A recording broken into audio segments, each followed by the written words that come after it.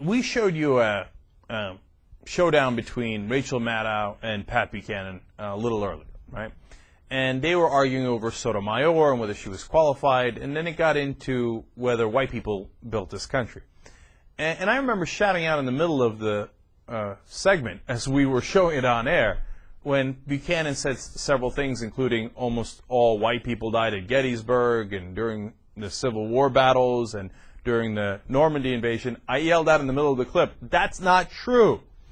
And of course I know that's not true. And Rachel decided, you know what?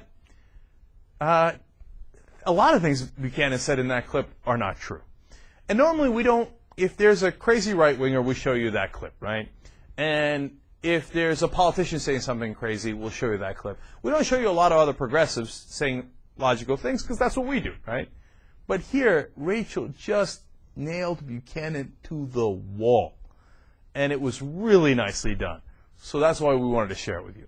In the beginning, she talked about the whole reason for affirmative action uh, existing in the first place, but I've covered that on the show many times.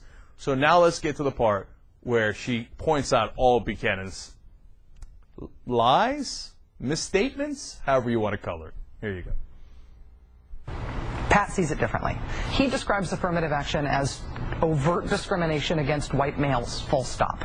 And I don't want to speak for him. Pat has been making these arguments for a long time, and he says what he means, and he means what he says. They are victims of this evil affirmative action policy, which says, in effect, that everybody's covered by the 14th Amendment and the civil rights laws, unless you're a white male and your parents and ancestors came from Europe, then we can discriminate against you. That was the argument that Pat made. It, it's it's not cool to talk about guests after their segment is over. It's also not fair to relitigate these arguments in the absence of one of the parties who participated in the argument, and I will not try to do that now. But what I do feel obliged to do is to correct some of the things that were said in the course of my argument with Pat that were stated as fact that were not true. Uh, I feel an obligation just to correct the factual record as we would with anything else that was stated as fact on this show that was not true. So, excuse me. So, first, in trying to make the case that Judge Sotomayor was unqualified for the Supreme Court, Pat said this, quote, she's never written anything that I've read in terms of a law review article or major book or something like that on the law. While it may very well be true that Pat has not read Judge Sotomayor's law review articles, he should not have implied that she hasn't written them. Our staff has tracked five of the judge's law review articles, the earliest written in 1979, the most recent in 2004. Pat also stated about Judge Sotomayor, quote, how did she get on Yale Law Review? Affirmative action. We contacted Yale and the Yale Law Journal. A spokesperson told us that the students themselves choose who's on the Law Journal.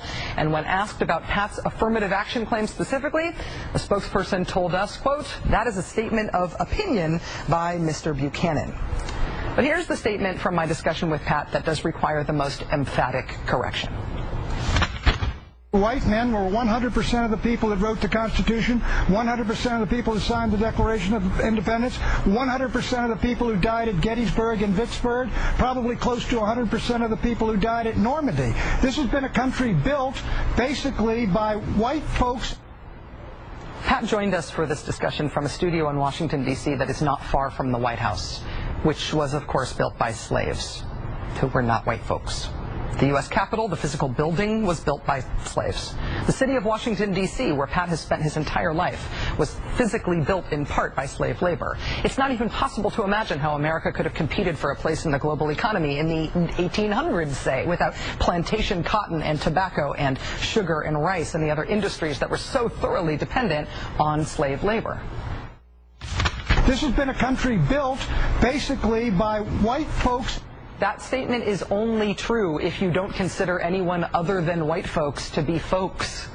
Even if you only consider slave labor, e even if, for example, you, you reimagine the railroads somehow magically building themselves without Chinese laborers, eh, the idea that only white people built America is a fantasy, and it should not have been maintained on this show as fact. As for who has died for this country in combat, more than 200,000 black Americans fought for the Union in the Civil War. Thousands even fought for the Confederacy. 1.2 million African Americans served in World War II, and yes, they were among those who stormed the beaches at Normandy. The Defense Department says almost 10,000 Mexican Americans fought for the Union during the Civil War. Hundreds of thousands of Hispanics served in the armed forces during World War II. 12 Hispanics were awarded the Medal of Honor. 24 Asian Americans received the Medal of Honor for heroism in World War II. This has been a country built basically by white folks That's just not true.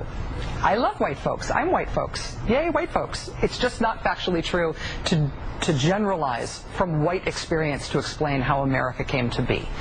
Also, a clarification.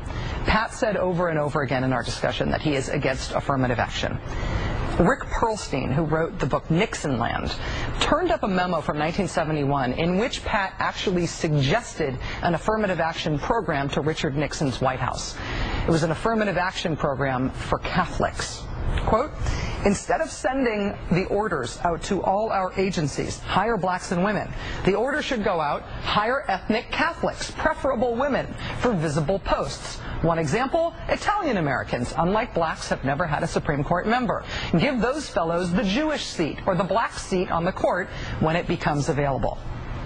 In other words, choose a Supreme Court nominee in part on the basis of ethnicity and religion, said Pat to Nixon. So those are our corrections and clarifications. Oh, actually one other. Pat also said, quote, the U.S. track team in the Olympics, they're all black folks. Um, the U.S. Olympic track team is not all black folks or otherwise. Also, the Olympic hockey team is not all from Minnesota either, which he also said. We very much regret these errors ending up on the show, and we will be right back. I love the way she said, we regret these errors winding up on the show. That's great. And my favorite part of it, and maybe the reason why we played the whole thing for you, is that she went back and found the Catholic thing, where he's like, well, if you're going to put a Catholic on, yeah, that makes sense. Yeah, affirmative action. What are you giving it to the Jew seat or the black seat for when are you can give it to the Catholics? Now, the great irony is Sonia Sotomayor is Catholic. But apparently that didn't convince Pat Buchanan that we should give it to her anyway. Because there's a little issue of her also being a female and a Latina. Mm. Pat, that's gotta hurt, man. It's gotta sting. And I wonder if he watches that and thinks, damn, I am wrong about everything. but of course not. In his mind, he's going to have justification after justification for it. And he's going to think, hmm, yeah, those facts are inconvenient. I will go ahead and ignore them.